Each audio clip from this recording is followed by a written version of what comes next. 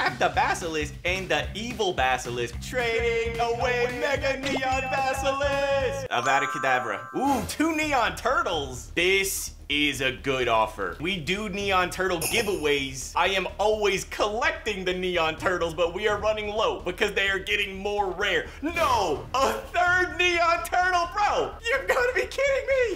it. I'm gonna hit accept. I don't know if they're flexing on me. That's like as much as a mega queen bee. Uh, and you know, it's a little bit under for like a mega squid. So this is actually really good. Oh no, I'm gonna say OMG. Bro, we just got in this server though. Do we do it? Oh, I don't know. Well, I'm gonna hit confirm. He has to decide. Bro, the fate of the Fruit Loops and of Mega Basilisk is in your hands. He says IDK. I have no idea.